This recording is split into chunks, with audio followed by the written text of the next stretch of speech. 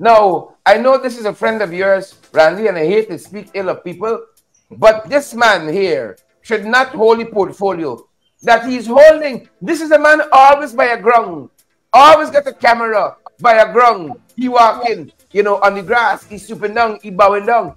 And some of the reports this morning out of the CPL and some other sporting activities happening where you are, Randy. In yeah. the 592, some of the reporting leaves much to be desired. If I was Charles this morning, I'd just go and hand in my resignation. Perhaps he's good at something else. Something, maybe law or something. Something else he's good at. but this Minister of Sports thing, uh-uh. Uh-uh. you, you know, it's no secret. I don't think it's, it's, it's any secret that um, this particular individual uh, didn't want this portfolio in the first place. Um, you know, I think everybody understood um, very clearly that it seems as though he was given this position as a punishment. to him or the rest of us? him or the rest of us? It seems as though, you know, it is a punishment for us also. But I mean, you know, I know we'll get into the details, but the general sense is um, that this particular minister is more concerned with, with, with, with the show, with the, with the pictures, with, with the Facebook posts, uh, mm. because there are a number of uh, serious issues plaguing our sport and our sport sporting landscape that are not being dealt with, you know, and you, of course, as usual with this government, we, we see um, a plastering of um, posts and and a whitewashing of things that are happening under the surface. And it is that reluctance to deal with the issues that are really affecting us and just whitewashing it and glossing it over that is causing all the problems going down the road. Right? And Correct is right. It, it is it's, it's quite interesting to watch this play out. Correct is right. And it's, and it's been a lot of problems folks, there are um, a, a, huge scandal happening currently where sporting is concerning in our country. Mm. As you folks would know or should know, or maybe do not know, but we'll tell you this morning, CPL, you know, the finals is being played in Guyana. And mm. folks, the comments about the preparation for these finals have been scathing. And I want to reflect on a few of them this morning. And this is not out of the um what is the newspapers where you are, Randy, in the PNCR? It is not the it's it's not new it's nation. Not nation. it's not the key from the AFC. This is credible sources, other credible sources. This morning's editorial in Stabroek News is a must read. And they've captured it in a way only Guyanese can. A lick and a promise. now, when you hear that phrase, it's a lick and a promise. You know the whole book already. You know the whole book. And that is what Stabroek News is saying about the preparation to host the CPL games. Was a lick and a promise. In its editorial this morning, it says the state of the National Stadium has not escaped the eyes or the fingers of the attendees at the Republic Bank CPL matches over the last week. They have taken to social media platforms to lay bare their thoughts and feelings on the washrooms and, and the quick fixes on various infrastructures around the stadium. Randy, this thing didn't happen to me yeah. overnight. We didn't wake up the morning before and realize we're hosting the CPL, you know, with yeah. a viewership of over 500 million around the world. Or did we? Or did we, Randy? Sherry, we knew that we were hosting this thing a year My ago, God. two years ago, you know, and so I, I think the, the the title of the the editorial is quite quite up, right? A lick um, and a um, promise. Yep, yep, yep. A lick and a promise. Well, folks, as Stabroek News said, took to social media the day before the games were scheduled to be played. Stabroek News reports in this editorial this morning. Ramson was seen as per normal, a camera in his face, and he yes. the drums there. He came live from a washroom at the stadium. Jesus Lord. Live from a washroom. You know, your friends wake up saying he want to bury ground. He was in a washroom live. Ramson. And heard and was heard instructing staff. Fix this bike tonight because the game is tomorrow. Fix this bike tonight You see, they like this kind of pomposity, instructing.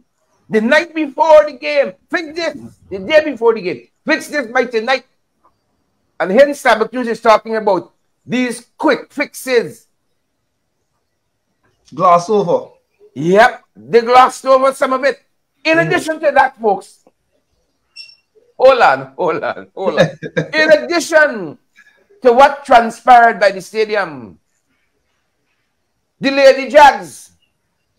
Wow. The Lady Jags, you know the Golden Jags, the female team, the Lady Jags, they had a match at Leonora. That other stadium over there against the Bahamians. Folks, sweet Jesus, it's three years we in. Who they can blame? All of them millions we are appropriating for sports through the National Assembly, through the national budget from Island Gas. We given to sports. Who they can blame now? Randy, hear what Stabroek News said about what transpired there. Charles Ramson, in this same editorial this morning, don't take our words for it. It's not a new nation, it's not the key. I know what the WPA got for their um their magazine. I can't remember the name of it. Stabroek News says a lick and a promise. The national coach says the pitch at Leonora, right? He compared it as a horrible pitch. His words, come to Stabroek News, horrible to the beautiful one that Guyana just played on in Antigua. Wow. Wow. Right? Of all places where there is hardly any rainfall, in Antigua, Shabazz, this is the coach, compared Leonora to the beautiful pitch. It was so bad, horrible pitch. That's how we describe the one at Leonora.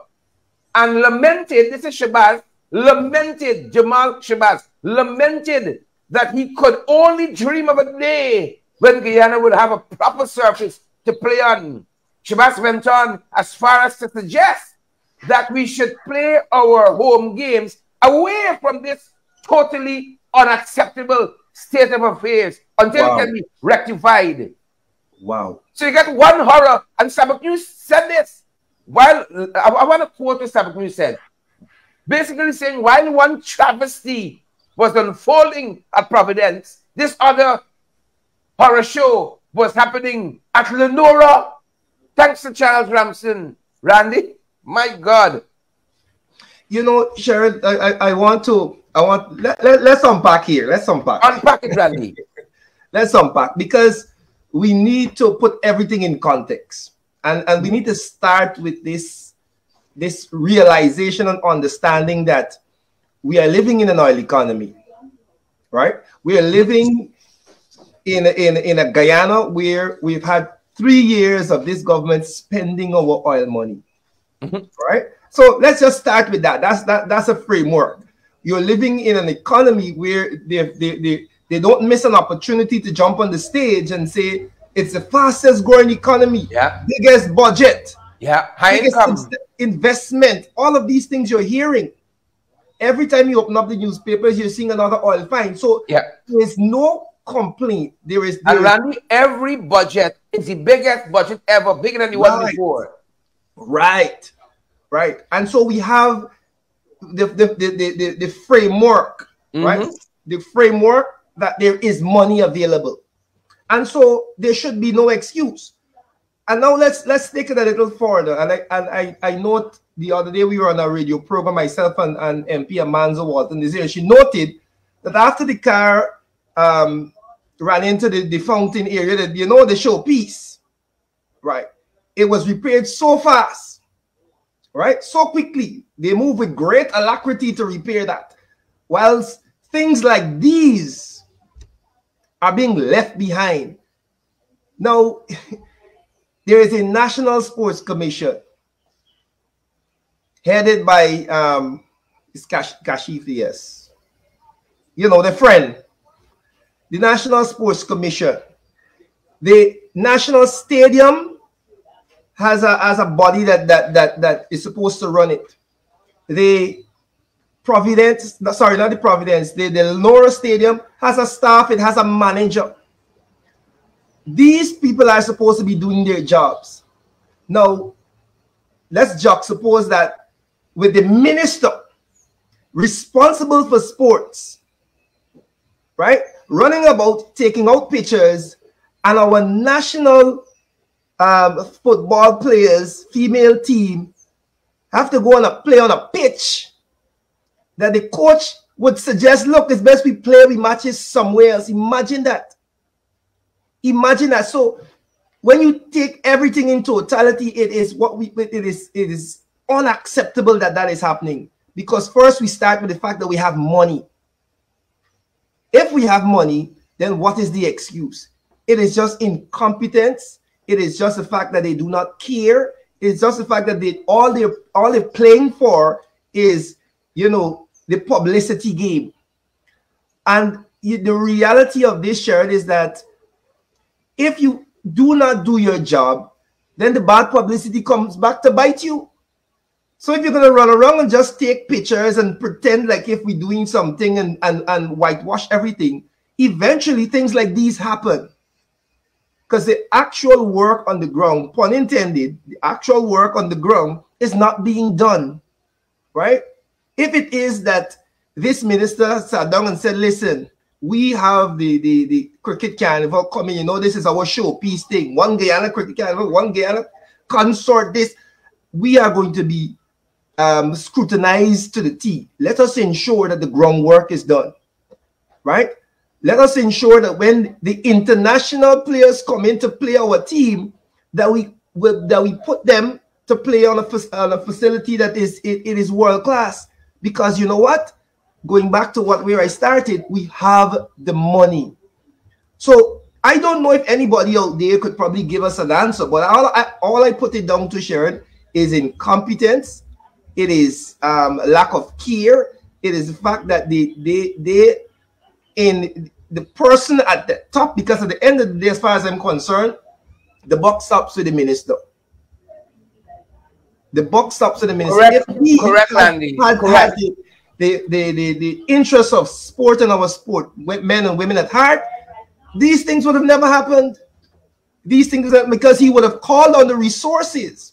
He would have called on the resources available to say, hey, let us not embarrass ourselves again. And I say again because it's been happening over and over. But you have to have situations like this where we are embarrassed daily because the powers that be are more concerned with the Facebook posts. And that's the reality of what we have in Guyana. That is the reality. Yeah, There's so no while we see Charles Ramson on a daily basis, he had some ground walking wrong, looking yes. wrong, stooping down, bending down, bending over, bending over backwards, bending over forwards in all of these positions to get a photograph, mm-hmm. the Providence ground are working. The one at Leonora is not working. Nope. And as Stabroek News pointed out for us, a number of persons took to social media. Yes. Uh, Moen Gafour was one. Randy walkers through some of what Moen Gafour may have said man. in his post. This is not up new AFC. We even know the man has a political affiliation. The man went exactly. to the he went to the stadium right. and he vexed and he took to social media. And, and Sharon, the things that he outlined are basic things. Basic things that if you are serious about about what you are doing, if you are serious about your role as a minister, then you would ensure that these things are, are taken care of. The man spoke about coming into the stadium, the car passes, right? The area that you had to park your vehicle was just loom. Right? Then he, went on, he said there is no running water, no running water in the red stand, the men's room. Same thing you were outlining just now, right? Water leaking from the stands into the ground floor. The man said, you hope it was water that was leaking. You hope. Sure, this, this, these are basic things that we, have, we, we continue to embarrass ourselves with, right? Marcy had to um, walk through what seemed like a natural disaster area, completely flooded, right? He assumed it was, was it was melting ice, right? And a number of other issues. I, I think there's another there's another um there's a, there's more to, to what he what what he, he posted there, right? But these are the issues that our, our the, the, the people that going to the stadium are facing. Again, Sharon, I mean, persons will go and look at this, right? Um, they will see the person's name and they can read it out. But what, what I want to impress upon us is that these things ought not to happen. It ought not to happen because we are we are in a position where we can afford for this. And I want to I want to to, to bring something into the fore. You may notice that a number of the uh, the CPL teams are named after IPL teams. Right? And this is something that people do not realize. Those teams have been sold to IPL teams, the Knight Riders, the Trin, you know, Trinbago Knight Riders. It, it, it wasn't the Knight Riders before. They've been bought by the Knight Riders from CPL, the Kings, you know, a number of the teams. The reality of what is happening here, and this even more so, the Minister of Culture, Youth and Sport and this government should ensure that the facilities and the, the, the, things available at the national stadiums are, are a, number one because the reality is that Guyana is the only team that is still owned by the by the country.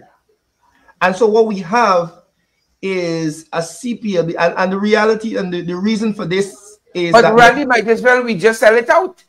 Yeah, and let the people manage the thing privately because we aren't doing that good of a job based on what Stabroek News mm-hmm. talked about this morning, a lick and a promise, based yeah. on what Moen Gafour said on social media, along with thousands of Guyanese. Here is an event attracting mm-hmm. a viewership of, we said, over half uh, a, a, billion worldwide. Yes. Get on the world stage. What other opportunity do you have, you know, to show how you govern, to show what you can do? And again and again and again, we keep coming up short. Yeah. Randy. So you got the madness that happened at Providence. Uh-huh. Total chaos and confusion powder. Nonsense happening in at Leonora. And you know what? As the good book says, when all these things happen, it's not the end, you know. That's what the good book says. It's the beginning of the but end. You know, you see, it's the in beginning. addition to that, recently there was an article that oh, that that that from the athletics association saying that the nationals you know trials couldn't be done couldn't be held because there was no available ground right the leonora stadium wasn't it wasn't uh, um, available the police ground wasn't available the um i Ingala ground wasn't available. And those were the, the three proper 400 grounds that you could could hold your um, athletics at your your your, your um, nationals for your national athletes to try see if they get their time so they can make time for these international meets. Of course the the providence stadium right?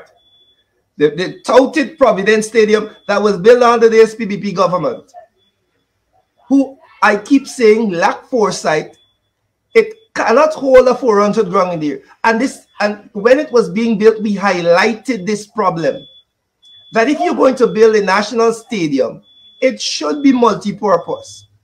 We should be able to hold our national athletics. Yes, no, but you know what? We had to go to Nora next to next to with the Minister of, of um, Housing, living to put the state put put a 400 track over there. But we have a national stadium that cannot be used for international meets because it, it you can't put a 400 track in there.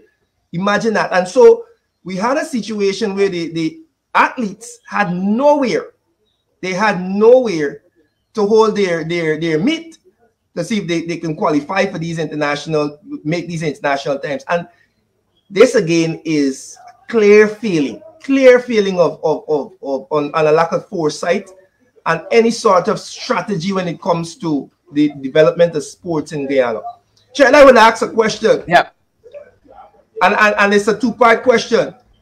What has happened with the national sports policy? Right? Where is the national full display, Randy? It's a full you're watching the policy on full display because as you talk about that, Randy, mm. that's not the end, you know. Mm. I like what the good book says, it's the beginning of sorrows. Because because the Guyana Football Federation ran out this morning, and not for good reason. the Guyana Football Federation has oh been fined by CONCACAF, and I'll tell you why. You ask why Pamela Dover, Van Van Classic, Raffle Glasgow? I'm happy you asked. I will tell you why. Folks, Mr. Ford of the Guyana Football Federation, Wayne Ford, you think it's one thing happening in this country? it's the beginning of sorrows. Look at you. Look at the sports policy on display. Right? The Lady Jags again has this match against Dominica, a qualifier. Right? And it will be played in, in Barbados. Barbados. Yep. Why, you may ask? Why? Why? Hold on. Hold on. Hold on. CONCACAF said this is going to win. Ford. When they visited the venue two days prior to the Bahamas game and inspected the turf, they immediately informed us that the venue, but more so the surface, was not suitable for this level of international game in Guyana. Wow. And that the game would have to would, would not be played there. After they informed us, they re, we relate to them, this is the GFF. We relate to them that uh, we were that there were no other suitable venues in Guyana. This is the GFF saying all these venues managed by the PPP, billions being spent Ramson spending billions on photographs as well of himself being taken out of these venues were not suitable. And this was and this was the only facility that we have access to. This is the one I, I think um somewhere over the river must see Leonora again. But they will but they still wanted hold on. They still wanted to inspect. Wait, wait, folks. He told them this is the only venue we got. But CONCACAF said, mm -mm. CONCACAF, folks, this is the Confederation of North Central America and Caribbean Associations of Football. Right? They say, not so fast. We want to see the rest. folks, this is national sports policy on full display. CONCACAF said, we want to see the rest to inspect them. Hold on, hold on, hold on, hold on. Wayne Ford says, according to Stabroek News, right? Camp Ayanganna, Ivlery, the national thanks there, the national training center locations were subsequently inspected by the regional officials of CONCACAF, but were ruled out. Holland Randy, Holland Rick, especially the Providence facility, which is currently a hive of construction activity, which would have impeded the ongoing work of the contractors doing the like the promise. You see, uh, the only other alternative was to abandon the game, right? That would have hurt Guyana and uh, wasted significant resources. This is what Ford said. And so the late decision was to have this, this match now move out of country. You see, he revealed, this is Wayne Ford, that the GFF was subsequently fined 5,000 US dollars for the quality of the playing surface at Leonora, despite them not being in control of the facility. Yep. Yeah. That that there what you you just described is is in to, to put it in your term confusion powder confusion powder. Again, comes back to the reality that we have a minister in place that is not even a square peg in the wrong hole. He's a square peg in a square peg. Can't fit. You know, after a while, square peg, if you push it enough, it can fit in the wrong hole. but it cannot work because there is no strategic approach to developing sports in Guyana. And when I say this, Sharon, I, I, I am um, I'm speaking not only about putting money into to something, but outlining how these organizations and federations work with each other. And what you mentioned there at the end is quite instructive that the GFF got no control over this facility, right? There is a situation where the GFF basically at the mercies of whoever running that facility. They're being fined for that facility because there is no, again, strategic and structural approach ensuring, hey, these things must work properly. How is it that we're supporting the GFF to ensure that the GFF has access to a facility that our players can can can host international meets? It does. It isn't happening because there is no thought being put into that. There is no thought. You know, Sharon, what is interesting is that if it is that Kashif is at the National Sports Commission, he's the chairman of the, the, the, the National Sports Commission. This is a man who has spent his entire life in football. This is a man who has made his money from football. You would think that these are the people who know how to manage these things, but they can't seem to manage their way out of a paper bag at the moment. Because we but Randy, you, you hit the nail on the head. You gave the answer to the problem right there. Is that the only focus on making money? Right. Maintaining facilities and you know internationalizing these facilities and so on is not the aim. It's what you need for us. Once you get something, people sit down You see, that is the aim. It's not how the athletes are treated. It's not the quality of experience for the patrons and all of those lofty things. It's how much we can make for ourselves. You see, how much kickbacks we can make. Why is Cliff Anderson Sports Hall not a consideration for some games? When construction, reconstruction, rehabilitation started since the year start, hmm. they come back and ask for $90 million more on top of what they already had. Because big, this is happening in sports in this country. It's a big scam. To sanction the minister with responsibility. Yeah. I, I, I am convinced, Sherry, that that um, Ramson is in over his head. Uh, you know what is interesting? If we are to Randy, assume... Randy, hold on. Let me add on. there. Because I know you were once it. Yeah. He is focused on the wrong things. He is focused on who in a play on the cultural center stage that talk that, that, that had some criticism for him or his wife. He is focused on the wrong things. Let me say it for you. well, you, you, you, you, you hit the, the, the nail on, on the head there. Uh, but, you know, what is interesting, Chad, is if, I, if I'm to go back to where I started, where it is publicly known that this man didn't want this position. Let me, let me go in, let me dig in a little bit.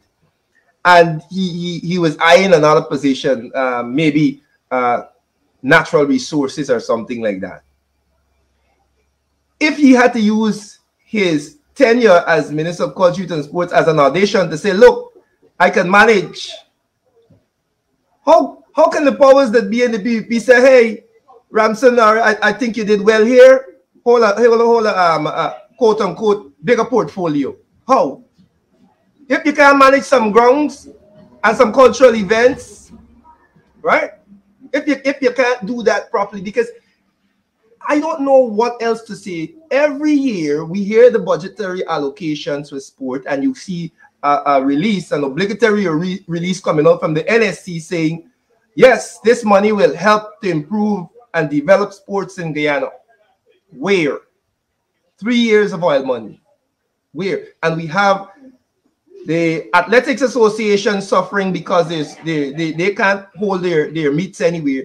The Football Federation paying money because they, they can't, the services are terrible. Guyana having to host their home game in another country, right? They come in, come here, Mia Mottley, come invite you here, let me bring some black belly, black belly um sheep and, and, and goat and thing and, and let me have a nice time and talk about how Guyana really developing. And let the, let, let the, the president go on stage and dance up. But at the surface, Facilities are not being maintained. There is no coordination between these agencies. There is no, no sort of development plan. And this is not even the national sports uh, policy, but generally, what is it? What is the direction you want to take our sports in? I often say, Sher, that you don't need to reinvent the wheel when it comes to sports, you know. There is a country right next to us in the Caribbean that has, has shown us over the years how it should be done. All we need to do is to figure out what in the world Jamaica is doing. Let us go look at the framework, look at the policies, look at the steps they have taken since 1976. and let us start to implement some of those things here. But you know what? We're too big for that. We're too big for that. And, I, and I am certain, Randy, when you survey that framework, mm. one of the things you'll see is proper functioning facilities for the athletes to play and to practice, to practice and to play. It's a holistic approach. One of them you see that. Coordination with agencies, um, a proper guiding policy that allows for investment from corporate, right? And so you have a holistic approach to developing sport. It's not a piecemeal thing because this government is a piecemeal government. And, and Ramson is in the same vein. Huh? jump up, oh, we start a football academy. Where, where is where is football academy really really going on, uh, uh, on, on the turf that the people can't play on? And Randy, so, if this was the only scandal we were facing this morning, yeah, yeah, you know, they might want to fire this Ramson alone. But you got other scandals that we're dealing with in the national headlines today. And you know the folks watching us, if y'all didn't share the live yet, you're wicked. You like them. Right? before, before you move from sport though, right I want to bring to the attention of the public something that is going to rear its head again mm-hmm. because mm -hmm. we're, in, we're in a season of school sports. Right. And there is a there is a problem that has occurred number of years. And again, there's no coordination between the Ministry of Education, the Ministry of Culture and Sport, the, the Ministry of Local Government and Regional Development to ensure that our school grounds are in any shape or form to facilitate these things. These schools have to be running and try and book a few, there about like four or five facilities in Georgetown that can actually hold school sports. And so you have, you know, uh, dozens of schools running. It's a, it's a logistical nightmare, right? And so I am saying, as a government, as a, as a, as a Ministry of Culture and Sport and the Ministry of Education, we have a responsibility to our student athletes to ensure that at least they can hold the inter-house sports at, at their, their, their facility that they have at their schools. And there is no, let me point this out, there is no coordination between these ministries. Ministry of Education tell you that they don't they don't take care of school grounds. Culture and sport, the two ministers don't talk with one another. Right? I know they like one another what, but there's no coordination, no effort to ensure that hey, what is happening with our student athletes, our school sports? And so that left up in the air. And I wanted to bring that to the attention of the people because when you walk around Georgetown, you see these schools and you see these grounds, and it's you know, it's, it's best to give them some paintball and then do jungle training in them. That, that's that's what it is. And so that is another key issue where we've seen the feelings of, of, of, of these people that they put in position as ministers. I just needed to point that out. Correct is right, Randy.